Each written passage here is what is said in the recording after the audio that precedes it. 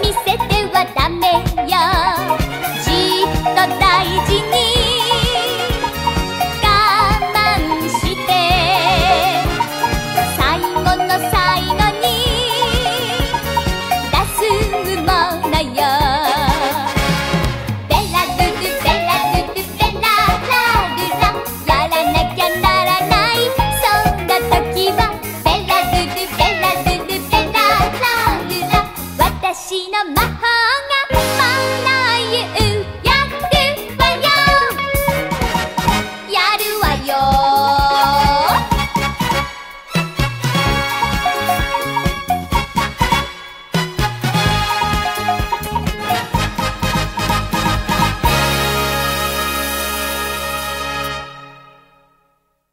魔法少女ララベルのエンディング曲のフルバージョンのリクエストがありましたので作ってみました。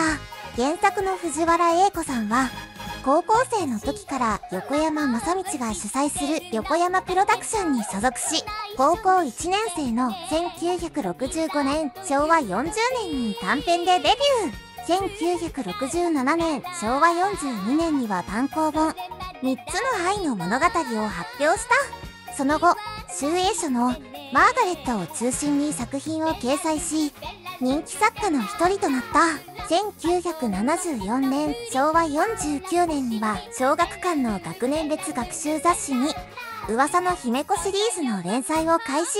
10年以上掲載され彼女の代表作となった。主な作品はただ今の記録2分20秒。後しびでも選手彼女はミセス。噂の姫子。おはよう姫子。魔法少女ララベル単行本未収録などがある。ララベルの関連商品も多数販売されている。